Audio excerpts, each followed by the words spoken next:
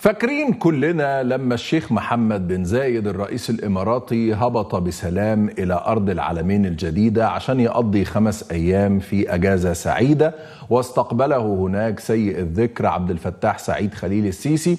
اتمشوا مع بعض في العالمين الجديدة وفي لقطة جميلة جدا تعبر عن قوة ومتانة العلاقات الثنائية بين البلدين. السيسي نادى على بنات صغيرين في سن أحفاده ويمكن أصغر وقال لهم سلموا على جده محمد أو عمه محمد يا أولاد المشهد كان جميل جدا وكان لطيف جدا وبعد كده تصوروا لحظة غروب الشمس.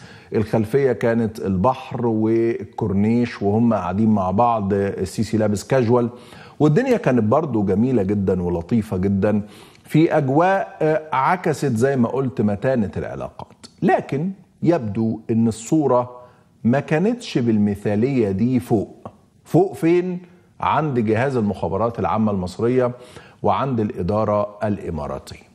الكلام الجاي اللي هقوله ده على مسؤولية وعهدة صحيفة الأخبار اللبنانية اللي نشرت تقرير وفقا لمصادرها هي بتقول إن الصورة اللي ظهرت ما بين السيسي ومحمد بن زايد بالشكل ده كان وراها خلاف أو توتر أو خناقة أو امتعاض ما بين الطرفين. صحيفة الأخبار اللبنانية بتتحدث عن التوتر المكتوم ما بين القاهرة وأبو ظبي واللي ظهر جليا في زيارة محمد بن زايد الأخيرة. إيه الحكاية يا جماعة؟ يا ترى الإمارات ومصر متوترين ليه؟ يا ترى مين اللي زعل مين؟ هل الإمارات اللي زعلت مصر ولا مصر اللي زعلت الإمارات؟ هل سيء الذكر في حد عنده جود فلبسه في الحيط مع الشيخ محمد ولا الشيخ محمد عمل حاجة اعتبرها سيء الذكر إهانة تعالوا نشوف مع بعض صحيفة الأخبار اللبنانية بتقول لنا إيه عن الخناقة أو الامتعاض أو التوتر اللي حصل ما بين مصر والإمارات بسبب زيارة محمد بن زايد الأخيرة للعالمين. شوف يا سيدي. قال لك إنه الإمارات ضخت 36 مليار دولار في الاقتصاد المصري عبر صفقة رأس الحكمة. إلا إنه اللي حصل وقت زيارة محمد بن زايد كان غريب جدا جدا وفقا للأخبار اللبنانية فالإمارات اكتشفت تعميم رسالة من المخابرات العامة المصرية اللي بتدير الإعلام للشركة المتحدة للناس اللي ماسكين الشركة المتحدة اللي هي مدورة حظيرة الإنتاج الإعلامي. بتقول الأخبار اللبنانية إن التعميم ده من المخابرات للمتحدة كان بيقول الآتي يتم تجاهل زيارة الرئيس الإماراتي محمد بن زايد للساحل الشمالي. محدش يتكلم عن الزيارة محدش يقول أي حاجة يا جماعة محدش يجيب سيرته. الرسالة دي بيقول التقرير إنه في حد جوه المنظومة الإعلامية المصرية بعتها الإمارات. نركز. حد من المتحدة حد من اللي جاله التعميم إن المخابرات المتحدة بيقولوا ما نتكلمش عن زيارة الرئيس الإماراتي. في حد من جوه المنظومة سميه بقى جاسوس إماراتي سميه عميل إماراتي سميه الإمارات بتدفع له سميه شغال في مؤسسة إماراتية ايا كان المسمى مش مشكلة. إنما في حد شغال في المنظومة عرف بالتعميم بتاع المخابرات فتطوع مشكورا أو يمكن ده شغله ودي وظيفته اللي بيقبض عليها من الإمارات مش من مصر. فكلم الجماعة في الإمارات قال لهم يا إخوانا ده في تعميم من المخابرات العامة للمتحدة ما نتكلمش على زيارة الراجل نعمل إيه؟ فهنا الإمارات وفقا للأخبار اللبنانية زعلوا. نكمل بقى التقرير. الإمارات زعلت جدا السلطات الإماراتية امتعضت من اللي حصل. واتكلموا مع الجماعة المصريين وقالوا يا جماعة إيه اللي بيحصل ده؟ المصريين المسؤولين المصريين سواء في المخابرات العامة أو المتحدة قدموا اعتذار للجانب الإماراتي وقالوا يا جماعة والله التعميم اللي إحنا عملناه ده كان غرضنا فيه نبيل. كان إحنا مش عايزين مضايقات إعلامية للشيخ محمد بن زايد في العالمين الجديدة. عايزينه يقضي أجازة سعيدة من غير ما تنزل كاميرات حواليه ولقاءات صحفية وصور هنا وهناك. السلطات الإماراتية وفقا لتقرير الأخبار اللبنانية تقبلت التوضيح أو الاعتذار المصري يعني على مضض وما كانتش مقتنعة قوي بالكلام اللي حاصل الحقيقة. فده كان جزء. وقبل ما أكمل الجزء الثاني اللي فيه الخناقة أو التوتر وإيه الإجراءات اللي خدوها الحقيقة ده بيخلينا نتوقف كتير عند اللي حصل. إيه اللي يخلي عباس كامل لو تقرير الأخبار اللبنانية صحيح؟ خلي بالك بين قوسين. إيه اللي يخلي عباس كامل يكلم أحمد الطهري ويكلم الناس في المتحدة؟ قولوا للولاد محدش يتكلم على الشيخ محمد بن زايد. أعتقد إنه لو التقرير ده صحيح فدي سابقة هي الأولى. والكلام بتاع أصل مش عايزين حد يعجزه يزعجه ده كلام فارغ. بأمانة والله ده كلام فارغ. يعني لو ده الاعتذار والتوضيح ده كلام فارغ. لأنه كل مرة كان محمد بن زايد بيجي مصر كانت المنظومة سيئة الذكر برئاسة سيء الذكر كانت بتعتبر ده فتح ونصر مبين وبتعتبره فلوس جاية وشرعية كبيرة وبيكونوا مبتهجين جدا بزيارة محمد بن زايد تحديدا أكتر من أي حد تاني. وبالتالي قصة لا والله يا جماعة أصل إحنا قلنا أصله يمكن أصله هنزعجه ده كلام فارغ. هنا السؤال اللي إحنا مش عارفين إجابته. ليه؟ إيه اللي حاصل؟ ليه كان في محاولة لتجاهل زيارة محمد بن زايد للعالمين الجديدة؟ ده برضو حاجة مش مفهومة بأمانة. لكن الأخبار اللبنانية بتتكلم على جزء تاني من الخلاف وهو جزء غريب برضو جدا. تعال نشوف. قال لك يا سيدي إنه مصر رفضت طلب إماراتي. بإيه يا عمي الطلب الإماراتي؟ قال لك الطلب الإماراتي كان إن مصر تخرج عدد من المصابين من غزة عبر معبر كرم أبو سالم ومصر رفضت الطلب ده فأثار استياء أبو ظبي. لو تفتكروا إسرائيل من الأول كانت عايزة إنه بعد ما احتلت رفح إن معبر كرم أبو سالم الناس تشتغل منه عادي ومصر كانت رافضة ده تماما.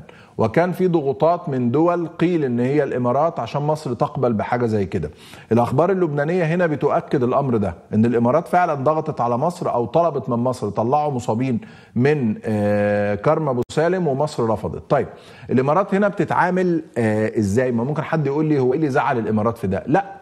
أنا لما أبقى الكفيل بتاعك وأنقذتك بصفقة رأس الحكمة وجايب ناس تشتغل في الطاقة والغاز والكلام ده كله واطلب منك طلب زي ده عشان خاطر إسرائيل اللي هي الإمارات مطبعة معاها وعاملة معاها شراكات في واحد اتنين تلاتة أربعة وأنت ترفض وتعمل نفسك يعني حاجة فده طبعا شيء مزعج جدا لأن الجماعة دول بيدفعوا عشان يحكموا. محمد بن زايد حط القانون من يدفع يحكم فهو بيدفع عشان إيه؟ عشان يحكم. وبالتالي لما هو يدفع وما يحكمش دي مشكلة كبيرة جدا. دي حاجة تزعله. فاكر السيسي لما قال لك إيه؟ في دي أزعل ولا ما أزعلش؟ لا أزعل. أهو محمد بن زايد بالظبط. في دي أزعل ولا ما أزعلش؟ يعني هو بيصرف عليه وبيكبره وبيدعمه وبينقذه من السقوط والإفلاس والكلام ده كله بعدين يطلب منه طلب زي ده وفقا للتقرير فالسيسي يقول له لا فطبعا دي حاجة تزعل. لكن بدأوا يتخذوا خطوات السلطات الإماراتية والسلطات المصرية بعد التوتر اللي حصل في قصة التعتيم على زيارة بن زايد. إيه يا ترى القرارات اللي خدوها؟ تعال نشوف مع بعض. قال لك يا سيدي في إطار التوتر المتصاعد اتخذت كل من مصر والإمارات إجراءات متبادلة لمنع العاملين في وسائل الإعلام من العمل في منصات إعلامية منافسة. وده أدى لاستقالات وإقالات في بعض القنوات اللي بتتلقى تمويل من الطرفين. ردة الفعل المصرية طبعا على الجاسوس اللي بعت الخبر ده للإمارات إنها اتخذت مجموعة من الإجراءات. أول حاجة فرض ضوابط جديدة على الإعلاميين. تضمنت توقيع لائحة ضوابط السلوك المهني والأخلاقي لضمان السرية. وهنا الحقيقة أنا بوجه السؤال للزملاء الأعزاء في الشركة المتحدة. كويس؟ زملاء الأعزاء جدا في الشركة المتحدة. إيه أخبار اللائحة دي؟ هل اللائحة دي صحيحة ولا لأ؟ هل فعلا أنتوا منكم جاسوس بعت للإمارات التعميم اللي جالكم المخابرات؟ أنا تاني أنا ببروز أهو القصة دي. نداء للشركة المتحدة ورسالة خاصة للمسؤولين عن الشركة المتحدة. يا جماعة لو سمحتوا أفيدونا. هل أنتوا فعلا بينكوا جاسوس شغال لصالح الإمارات؟ لما جالكوا تعميم المخابرات بعت لهم؟ ده أول سؤال. السؤال الثاني الراجل ده مصيره إيه؟ وهل في منه كتير ولا لأ؟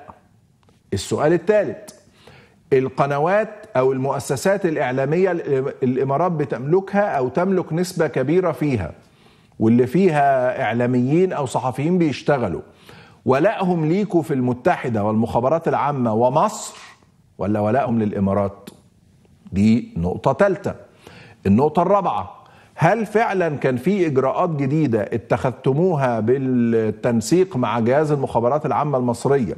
من ضمنها لائحة ضوابط السلوك المهني والأخلاقي لضمان السرية. أنا مش هقعد أقول لك النظام بتاع اللي هو ال social media أسامة جاويش يتحدى وأنا بتحداك. يا عم لا بتحداك ولا أي حاجة خالص. بس أنتوا آه، يعني طالعين قوي كده فرحانين بنفسكم والقاهرة الإخبارية والمتحدة والكلام ده كله. جميل جدا. ادي أربع اسئله لو سمحتوا ردوا عليهم. بهدوء خالص ومن غير تحدي ومن غير ما اقعد فرد عضل من غير اي حاجة. في أربع اسئلة ردوا عليهم. بس لو سمحتوا لو هتردوا يطلع حد يرد بصفته بشخصه بصورته بهيئته بمنصبه الاداري في الشركة المتحدة. ما تطلعليش مصدر رقيع المستوى ارجوك. كفاية مصدر رقيع المستوى اللي بالمناسبة مختفي بقاله فترة. الحمد لله. يعني من الضرب اللي ضربناه في البرنامج ده على مصدر رقيع المستوى أنا ملاحظ إن أنتوا ساحبينه. فبرافو. كملوا سح... السحبة بتاعته لحد ما يختفي. خالص ما يرجعش تاني. خلوا الدولة تتعامل بمؤسساتها. وزير خارجية يطلع بيان. بعتنا أسلحة الصومال.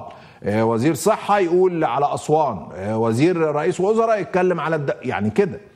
إنما ما تقعدش تطلع لي مصدر رقيع المستوى. فأنا مبسوط.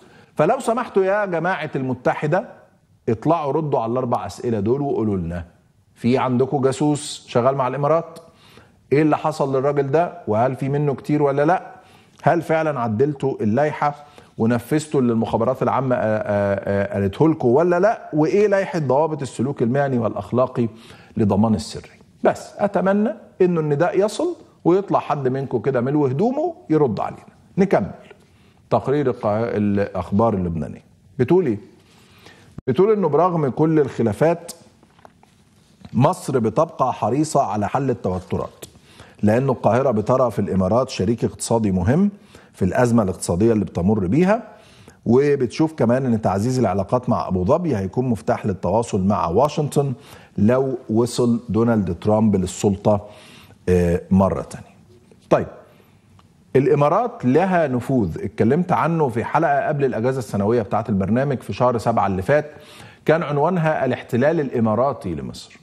اتكلمنا عن قطاعات كتيرة جدا الإمارات بتسيطر عليها وتسيطر على قرارك السيادي بل تتحكم كما قال محمد بن زايد من يدفع يحكم. تعالوا نعيد التذكير كده بمجموعة من الأرقام والحقائق الهامة عن تقييد الإمارات لمصر عبر الاستثمار تحديدا. تكلم على قيمة استثمار إماراتي وصلت لحوالي 9.6 من عشرة مليار دولار. عدد الشركات الإماراتية في مصر تجاوز 1600 شركة ده وفقا لجهاز التمثيل التجاري المصري. بنك أبو ظبي استحوذ على بنك عودة المصري بالكامل. الإمارات تسيطر على أكبر حصة أجنبية من البنوك في مصر. شركات إماراتية تسيطر على موانئ في شرم الشيخ والغردقة والعين السخنة وسفاجة. جيمس الإماراتية بتمتلك 35 مدرسة في مصر. شركة جلوبال القابضة للاستثمار الإماراتية تسيطر على 30% من شركة الشرقية للدخان. شركة الأصباغ الوطنية الإماراتية القابضة تسيطر على 81% من أسهم شركة باكين اللي بتملك خمس مصانع وأكثر من 350 منفذ بيع. آه، شركة أبراج كابيتال الإماراتية عندها 12 مستشفى خاصة في مصر. وفي شركات إماراتية بتستحوذ على أكثر من 100 مختبر تحاليل واستحوذت الإمارات على مجموعة مشاريع عقارية منها أرض راس الحكمة وخمس مدن بالساحل الشمالي. الإمارات كمان يا عزيزي تمتلك حصص في شركات مصرية كبرى زي TotalEnergies ب 50% اسكندرية تداول الحاويات 32% أبو قير للأسمدة 21.5% البنك التجاري الدولي 17% ومصر لإنتاج الأسمدة موبيكو 20% نصيحة لسيادة اللواء عباس كامل ما تزعلش الإمارات تاني لسبب بسيط لأن هي اللي بتصرف عليه.